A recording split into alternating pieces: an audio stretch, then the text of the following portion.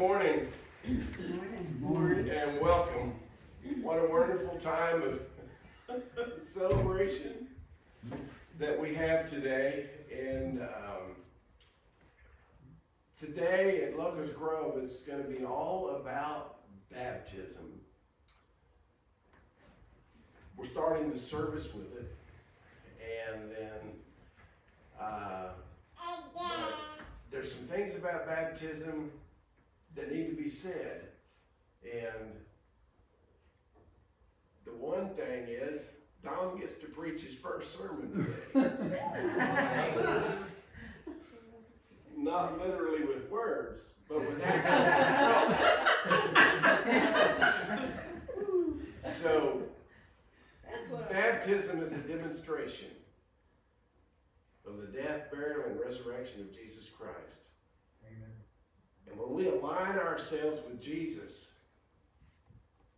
we have been asked as a people to baptize others as they come and join us in the faith. So today, Dominic has come to say, I know Jesus is my Savior, and uh, I need you on this side, we're going to go this way. And if I can't get you up, it's your it's, on, it's up to you. I thought the water would be a little bit deeper. so, uh, but uh, Dominic, is it true that you have come to Jesus and you said to him, I want you to be my Savior and I want you to be the boss of my life? Yes, sir. Amen. Amen. Amen. Somebody ought to say hallelujah. Hallelujah. but so this is, is such an incredible symbol of what Jesus has asked us to be as it's not really beginning because he's been saved for a long time. And he's demonstrated his love for Jesus. He's demonstrated his love for the church and its people. But he's coming today in obedience to what Jesus has asked us to do and following Jesus' example. We'll say more about that later. I'll just stand up here and start preaching. So, well, that'll work. it's, uh, Dominic, I baptize you in the name of the Father and the Son and the Holy Ghost that we are buried with Christ in baptism and raised to walk in a brand fantastic new life. Amen. Amen.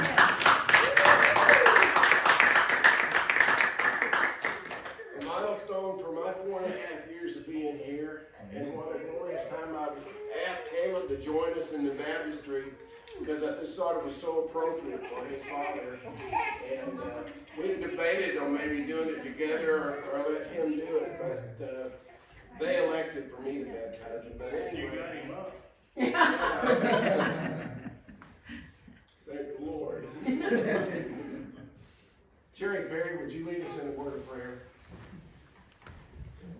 Our dear Heavenly Father, we just come together today to witness this event that is taking place here. And Lord, we just pray that you be with Dom throughout his walk of faith and the power that he has with other people and the things that he has accepted to be.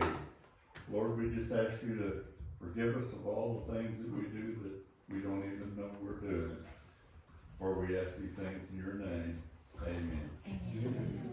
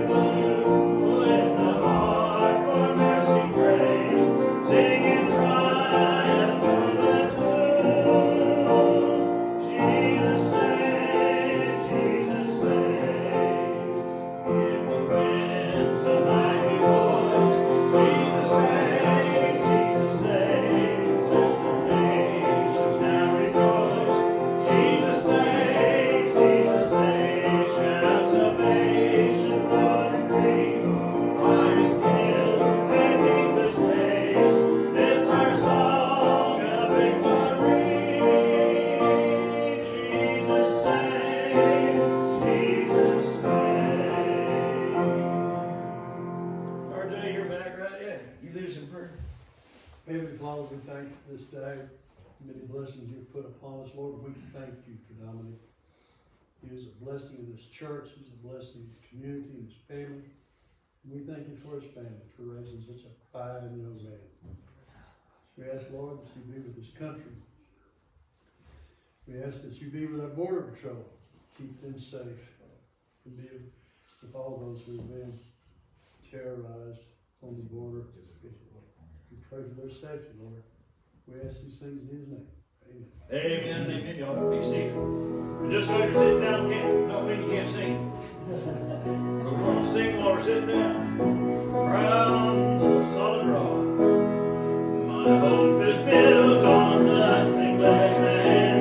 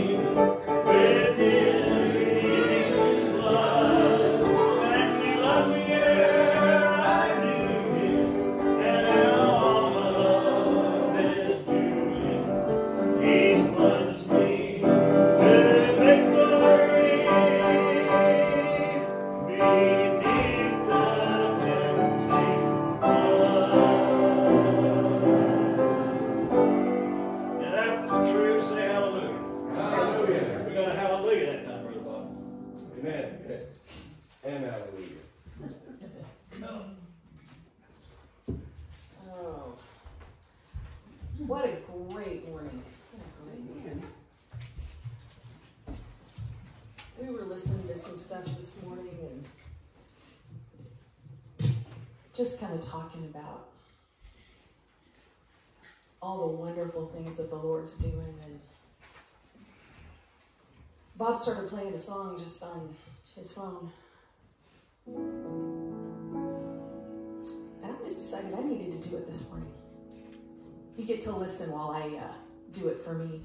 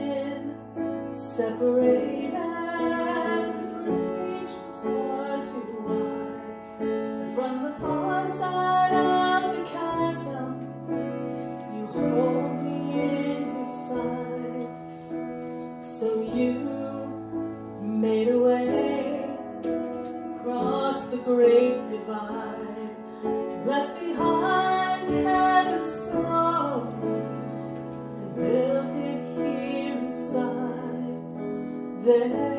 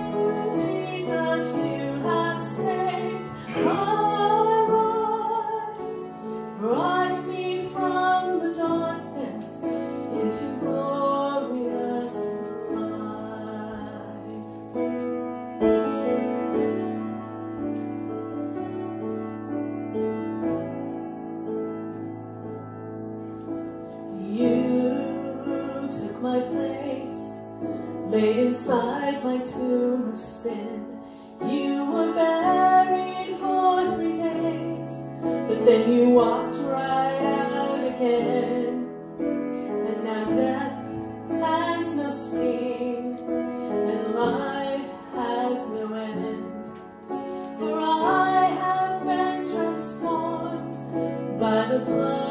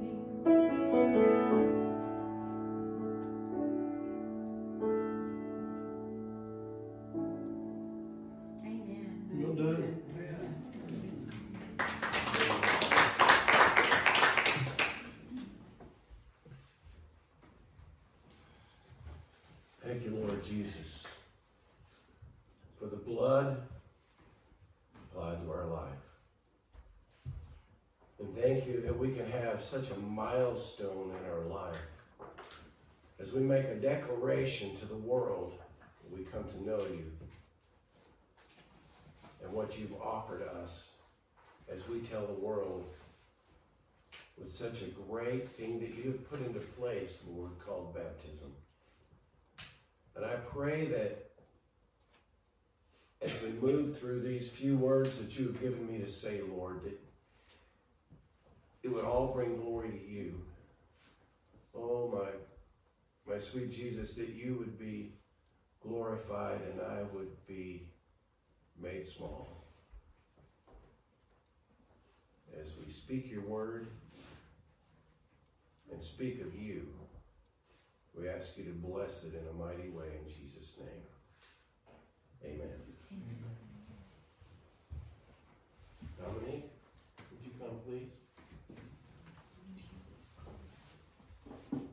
If you have it, okay. We're giving Dominic a new Bible. Amen.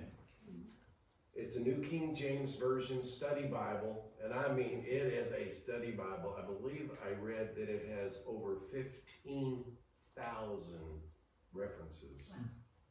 I mean, you open the Bible, and this is scripture, and this is all commentary down here. So, um, I'm a little bit jealous. I really like it.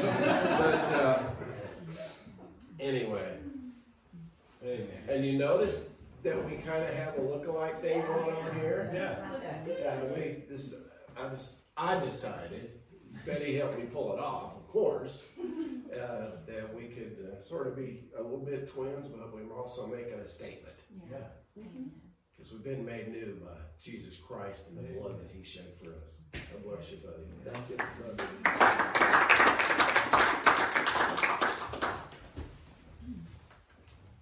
I forgot. There's one more thing. There's a card. Signed by everyone. No money, just a card.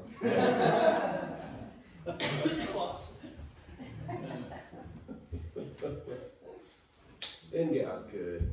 Amen. What a, what a wonderful blessing we get to share in Dom's joy. He's long been giving us demonstration of his faith. And today was not just a demonstration, it was a declaration. And so I want to share some things with you today. Matthew 3 13 through 17 is a very familiar passage. And then we'll be jumping over to Romans 6 1 through 4 here in a bit.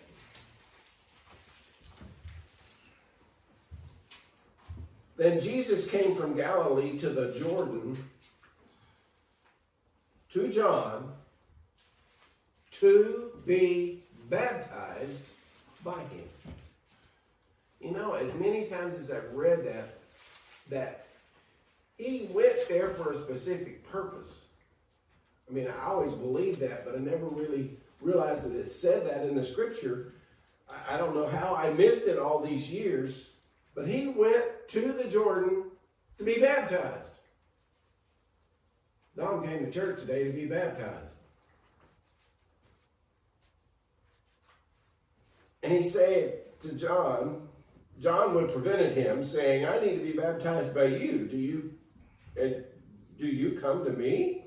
But Jesus answered him, saying, Let it be so now, for thus it is fitting for us to fulfill all righteousness. Then he consented, and when Jesus was baptized, immediately he went up from the water. Important phrase.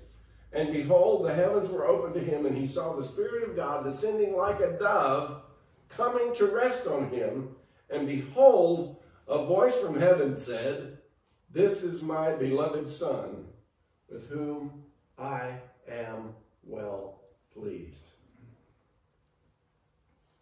Jesus set the example, but you know, baptism was not new to the Jewish culture. They did it as a ritual of purification at times. And so they, and many religions baptize for various reasons. Uh, and by religions, I don't mean uh, necessarily denominations, but other abs- uh, actual religious sects. So, and then let's go ahead and read Romans chapter 6, verse 1 through 4. What shall we say then? Are we to continue in sin that grace may abound? By no means. How can we who died to sin, sin still live in it? Do you not know that all of us who have been baptized into Christ Jesus were baptized into his death? We were buried, therefore, with him by baptism into death, in order that just as Christ was raised from the dead by the glory of God the Father, we too might walk in newness of life. Well, we have a few things to share today, and, and I've kind of outlined them with uh, the letter P. The purpose of baptism. Why are we baptized? Well, Jesus gave us an example. We just read about that. But in John 4 14 and 21, Jesus said, If you love me, you will keep my commandments. One version says, You will do what I say. And we know that in Matthew 28, Jesus said, Go and teach and disciple them. Now, I realize it doesn't use the word there. It does, in one version, it does say, Go and make disciples of all nations. But Jesus said, Go everywhere, don't leave any stone unturned, but go everywhere and tell them what I have done for the universe, for all of the people every, uh, that have ever lived. So get, go and teach them what I've told you to teach them, and then teach them to follow through. And part of that follow through, the beginning of the follow through, is being baptized. So the purpose of it, plain and simple, really, we're just doing what Jesus said do. Baptize them in the name of the Father and the Son and the Holy Ghost. There is a proper time to be baptized.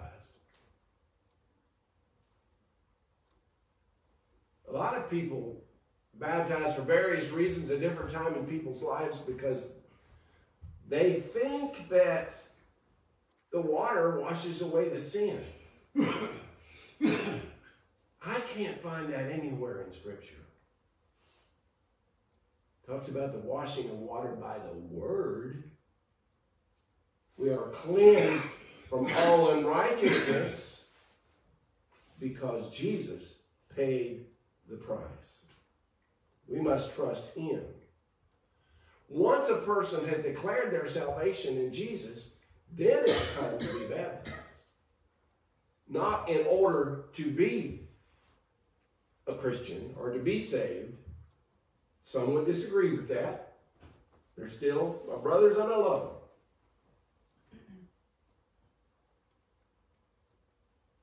And that happens when John 10, 9, and 10 that we talked about uh, last week, uh, or a couple of weeks ago. Confess with your mouth and believe in your heart that Christ was raised from the dead and you will be saved.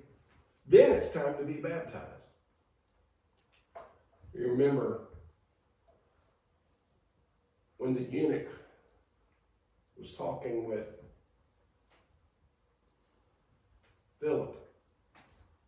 And he said, Here is much water. What hinders to me? What what is hindering me from being baptized? Well, Philip explained to him that baptism was something that needed to be done only if he would accept Jesus Christ and ask Jesus for his acceptance into the family of God. Is there a place?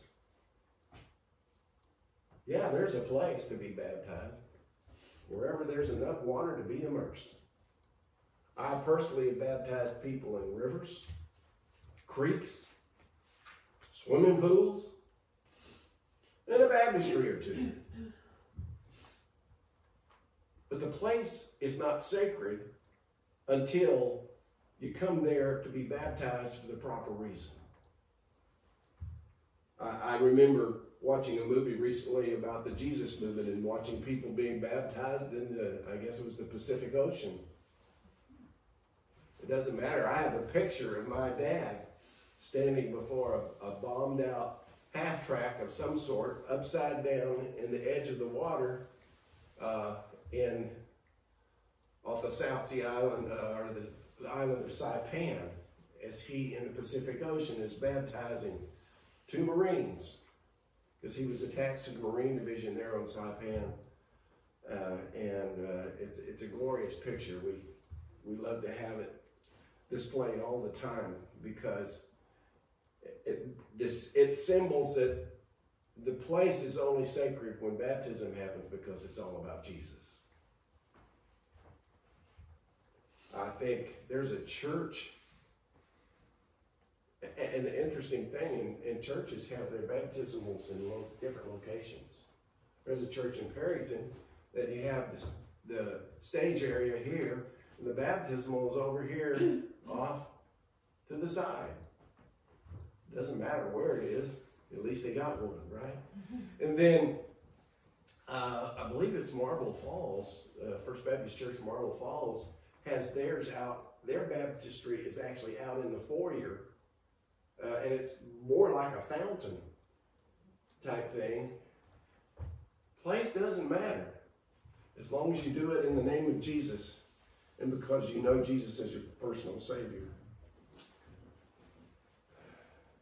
But the most important thing about baptism is the picture. Because it's a picture of all of the, it encompasses all that we believe about Jesus. If you confess with your mouth and believe in your heart that God has raised him from the dead, the death of Jesus, the burial of Jesus, the resurrection of Jesus. That's why it's important to be immersed when you're baptized. Because it's a symbol, it's a demonstration, a picture of the death, burial, and resurrection of Jesus Christ, and that we associate ourselves with that. Not only do we associate ourselves with it, we trust in it, rely on it, and believe in it with all of our heart. now, don't get me wrong. I love that song, Pray for the Fish. Anybody doesn't know that song? I'll have to play it for y'all sometime. But uh, the song implies that you better pray for the fish because when somebody gets baptized, the fish are going to have to run for their life because all that sin in the water. But It, it, it's really a funny, fun song. Pray for the fish.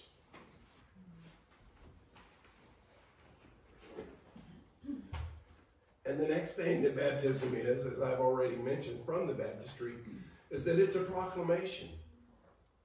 Declaration, proclamation, whatever you want to say, that you have aligned yourself with the ways of Jesus Christ and what he has said to do.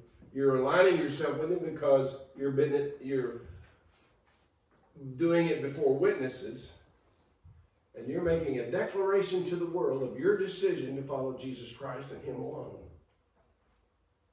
and you're sharing your faith in others. And for many people, baptism is sharing your faith for the first time. Dom's been sharing his faith with us for a long time.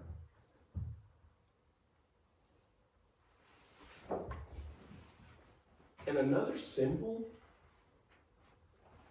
that I think is so important, Jesus said, I've cleansed you from all unrighteousness. There's no more penalty for sin because you are now considered in the eyes of God to be pure. Amen. Some of us are still working on acting like it, okay?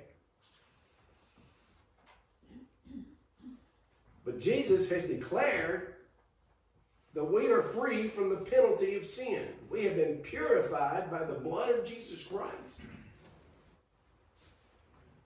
And that's the only way for salvation to happen. You are saying that you have resigned from being the CEO of your life and giving over to Christ the direction that He has and the power to be an example so that others see that's the whole thing. It's about others. Baptism isn't about the person being baptized. They're just doing what God says.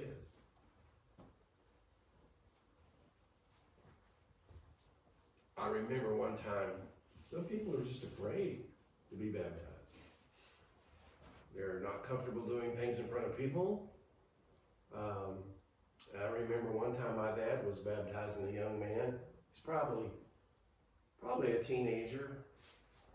I used to help my dad get ready for baptism, so I would stand on the steps of the baptistry and and watch people being baptized from from the back because I'd go help my dad get ready and all of that, put his waders on, his robe, and all of that. So anyway, I'll never forget this as long as I live. Dad starting to, or we are buried with Christ in baptism, and he gets about here, and the guy reaches out and grabs the glass, saying, "No, no, no!" He was just, he was afraid of water. It was just a, a mighty strong fear of water. But the one thing that might help one understand about whatever you might be afraid of about being baptized is that it's not about you. It's about making a decision to do what God said. And Jesus said, be baptized. Gave us the example. He had his disciples baptized. Now, Jesus himself did not baptize people, but the Bible clearly says that his disciples did. I think one more thing needs to be said. And I, I say that because I've actually experienced this personally and I've seen it in other people's lives. Where a person that may be older than a child or a teenager realizes later in life that they really haven't been scripturally baptized. Because baptism should come after you know you've made your commitment to Jesus Christ. And I've seen person after person through my dad's ministry over the years come and say, you know, and this is my testimony. I was about seven, six or seven years old, and I got dunked. I mean, I was doing the right thing. I was trying to follow my way to Jesus, but I really didn't have enough of an understanding to know the whys and wherefores. And I mean, I love Jesus. I probably had more gospel exposure than most kids because of being in church three times a week for my whole life. But one night when I was 16, I realized I really had never resigned as CEO. Decided to let Jesus take over. So, I was baptized then, not just dunked. I was reading about a while ago, one, one uh, pastor that I was reading said, yeah, you just go down, you go in uh, a dry center and come up a wet center.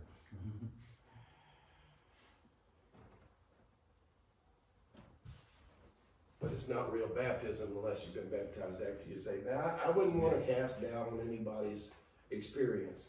But I just think it's interest. It, it, it's something that that's noteworthy that I've seen in my life, but other people do that and come in a, and later in life and say, you know, I need to be scripturally baptized. So, if there's someone out there that has that desire or that realizes that that's what happened to them, then I just encourage you to consider doing it as soon as possible. But the most important thing of all is that the man on the middle cross says you can come. If you remember the story I told, so last week, week before, no, we had Gideon's week. The thief on the cross didn't get baptized. It, let's just say there wasn't a good time. But Jesus said to him face to face, Today you'll be with me in paradise. Why? Because he confessed his faith. That's a pretty public situation, I would say. he even chided his cohort, partner in crime, if you will, the other thief, saying, Have you no fear of God, man? Surely this is the Son of God, he said. He confessed his faith, and Jesus said, You'll be with me in paradise. I don't know about you. There's some discussion about whether paradise is really the final heaven or whatever. That's a discussion for another time, but let me tell you this. That's where Jesus went, because he said, You'll be with me in paradise. And Jesus went where God was.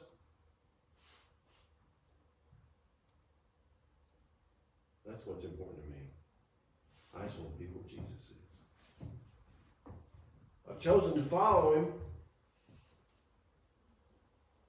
And in the last day, maybe the last night, when I see him face to face, I'll be with Jesus. Amen. You can know that in your heart, and you and you can know that that is a certain thing in your life. That when your life ends on this earth, I love the way my friend Charles says it. He says, I might be walking across the street and some truck comes along and knocks the soul out of me. I like that. Because soul doesn't die, it just goes someplace. Yeah. The best place to go is where Jesus is. You can go to hell if you choose, because it is a choice. Yes. So, if any of this I've said intrigues you, and you're concerned that maybe you haven't made things right with God in a salvation experience, here's what you need to do acknowledge your sinful ways. Turn away from your sinful ways and repent of your sin and ask Jesus Christ to give you a brand new life. You know what? He's waiting right now. He's waiting for you to say yes. He's waiting for you to resign as CEO of your life, if you will.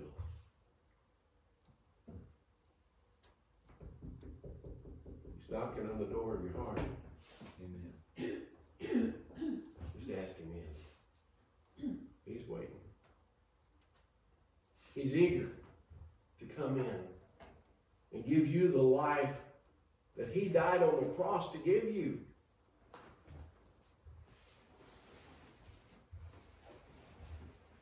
Here's much water. What hinders you from being baptized? Yourself. Father, thank you so much for giving us this incredible symbol. It's a point we can look back to in our life and realize that it was the day that I declared my faith to the world. So if you haven't done it yet, those of you who are here with me, those of you listening under the sound of my voice, declare your faith in Jesus today. Declare it. Ask Him into your life. And all you really have to say, Lord, now's good. Now's good. Would you stand with me as we sing? I have decided to follow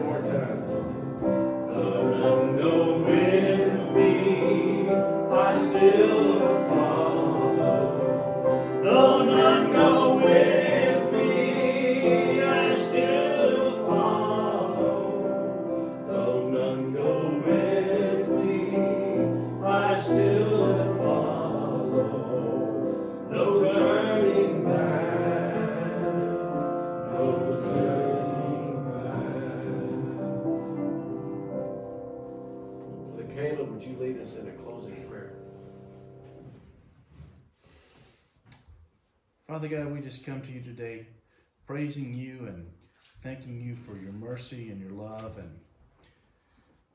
thank you for this declaration Dominic's made and the fine man that he's become and is becoming in you, Lord. And I thank you for that continuous walk that we all have with you. And I thank you, Lord, for this community of believers and the way that we lift one another up, Lord, and that we're there for one another. And I thank you that you give us that and that you've given the ultimate sacrifice in your Son Jesus. And it's in His name we pray today.